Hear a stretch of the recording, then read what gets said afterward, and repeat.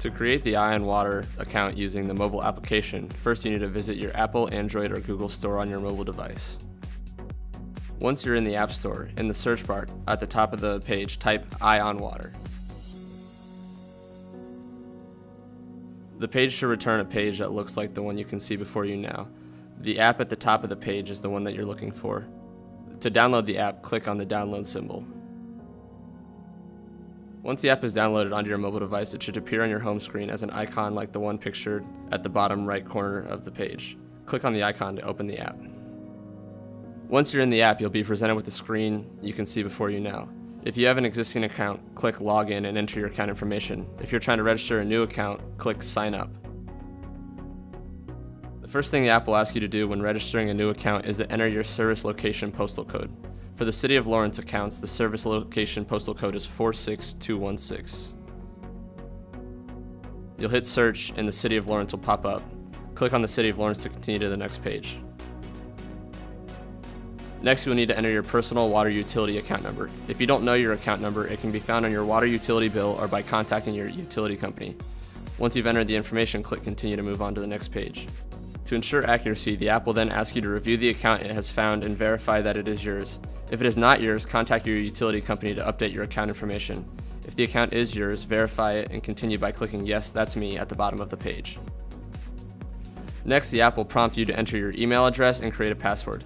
Make sure to enter an email address that you have access to because you will need to open a confirmation email to finalize your account later. Your password must be a minimum of 8 characters and no longer than 16 characters. Once you've entered your information, check the box denoting that you've read the terms of use and click Submit to continue to the next page. EyeOnWater will send you a verification email to the address you used to create your account. To complete the creation of your account, open the email and click on the link that has been sent to you. If you did not receive the initial email, verify that your email address is accurate and click Resend Email and check your email again. Once you've verified your email, click I've verified my email to log in and begin using EyeOnWater. Once you've downloaded the app and signed in, you'll arrive at the EyeOnWater overview page. From this page, EyeOnWater provides you with information about your water utility and tools to help you use your water more efficiently. The overview page of the app acts like a dashboard that is organized into sections that let you see your water usage, whether you have a potential leak, and much more. The first section at the very top of the page helps you detect leaks. EyeOnWater is constantly on the lookout for leaks. This section of the app allows you to see if a leak has been detected on your account. If a leak has been detected on your meter, the leak rate will also be displayed. If you want to be notified by email or text message when EyeOnWater has detected a leak on your meter, you must visit their website at www.eyeonwater.com to set up alerts. The second section, directly below the current leak section, is the Usage Insight section. From this section of the app, you can quickly see whether you're using more or less water than you used in the previous week.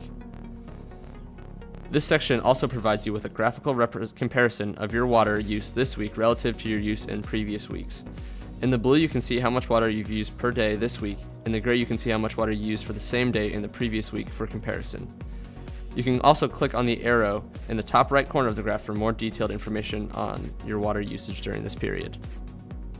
You can do things like look at how much water usage you had in the morning versus the afternoon, how much water you used per day, over a course of a month, etc.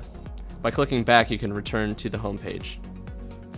The Usage Insights section also will give you a display of your daily average water consumption over the past 30 days, measured in gallons per day. Last, at the bottom of the homepage, you can see your customer service section. The customer service section of the EyeOnWater app connects you directly with your water utility provider. If you have questions or concerns about your water utility, you can place a call or send an email to your provider from right inside the app. At the bottom of every page on the EyeOnWater app, you will find three icons. Each icon, if clicked on, will take you to a different page on the app. Up to this point in the guide, we've only discussed items on the overview page of the app. We'll now move to the usage page by clicking on the icon in the middle, titled Usage.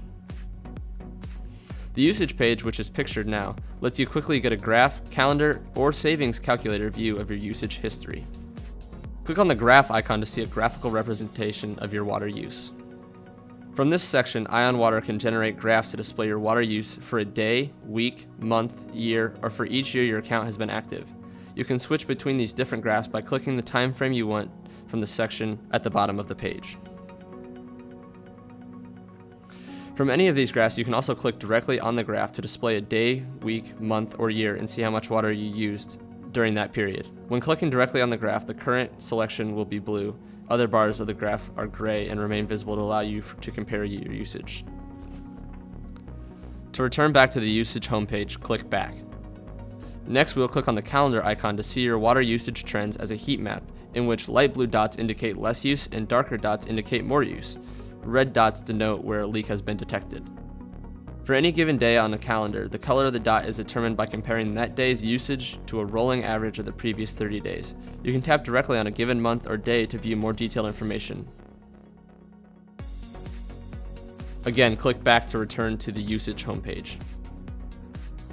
Now click on the savings calculator icon to see how much water you would save if you performed a certain listed task. To get started in this page, click on the white box at the top of the page to enter details about your premise. By doing so, you can more accurately create a savings calculator.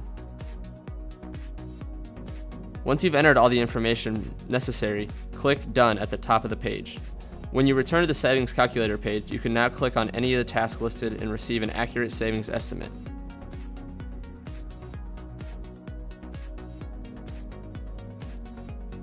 Click back to return to the usage homepage again. We've now looked at the overview and usage sections, and we will take a look, finally take a look at the account section. The account section is listed at the far right of the bottom of the page. To open the page, click Account. From this section, EyeOnWater lets you see your utility company name and your account details. In addition, your account location is displayed on a map along with your water ID number. To return to the main account page, click Overview again. This concludes all the information that EyeOnWater can provide you on their mobile application.